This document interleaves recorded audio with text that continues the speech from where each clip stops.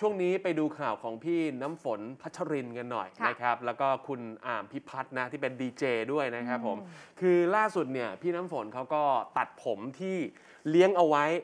ยาวมากๆนะฮะเห็นว่าตัดเพื่อนำไปทำวิกให้กับผู้ป่วยมะเร็งด้วยนะครับ คือเจ้าตัวก็ตัดสินใจหั่นผมที่ไว้มานานทันที เพื่อนำเส้นผมเนี้ยไปทำวิกให้กับผู้ป่วยมะเร็งผ่านมูลนิธินางฟ้า ถึงคุณวันใหม่นะครับพี่ฝนก็บอกว่า